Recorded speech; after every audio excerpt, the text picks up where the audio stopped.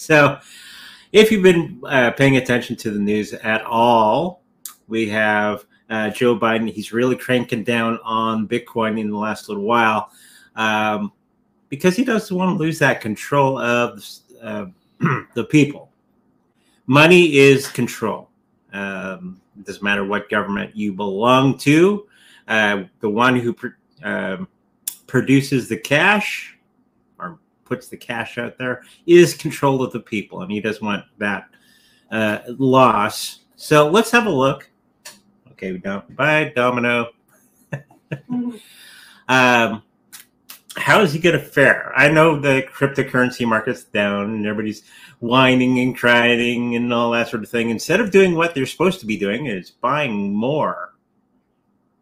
Okay, but people don't do that, and you know, just just one of those things.